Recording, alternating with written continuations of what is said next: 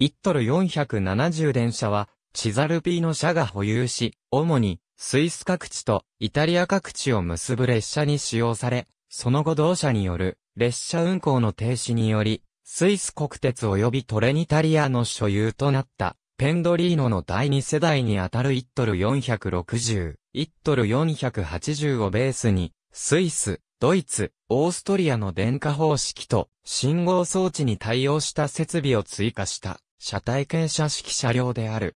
1トル470は、チザルピーノ車の夜運行では、スイスのチューリビ、ジュネーブ、バーゼルなどと、イタリアのミラノ、フィレンツェ、ベネツィア、トリエステを結ぶ路線で運行されていた。また、運行開始当初の1998年3月から2006年12月のダイヤ変更まで、ドイツのシュトゥットガルト中央駅まで乗り入れていたが、2006年12月以降は、チューリヒシュトゥットガルト間は、同じ車体傾斜車両のアイスティーに置き換えられた。1トル470は、チューリヒトリエステ間の路線に再投入されている。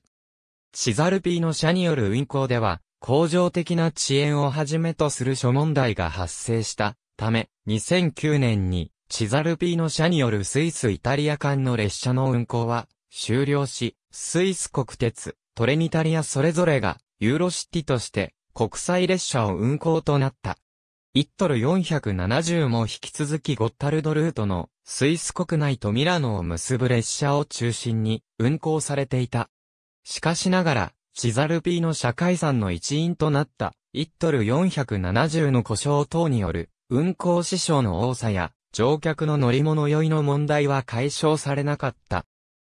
スイス国鉄の所属となり、整備も行うようになった4編成については、運行支障は半減したものの、それでもスイス国鉄が所有する、同時期に製造され、同じくペンドリーノの技術をベースとした、車体傾斜式電車であるラブド500型と比較して、整備コストは4倍に上り、1トル470が運行される、ゴッタルドルートの定時運行率も71%と、スイスの他の区間の92%を大幅に下回るものとなっていた。そして2011年5月には、トレニタニア保有の1トル470第7編成がスイス国内で走行中に火災事故を起こしたことを契機に、スイス国鉄では1トル470を早期に運用から外すことを決定し、2014年12月のダイヤ改正で1トル610及びそのスイス国鉄造備機であるラベ503型に代替されている。車両を保有していた、チザルピーノ社の本社は、スイスの首都ベルンにあったが、車両の整備は、トレニタリアによって、ミラノで行われていたほか、管理はそれぞれスイス国鉄とトレニタリアにより、行われていた。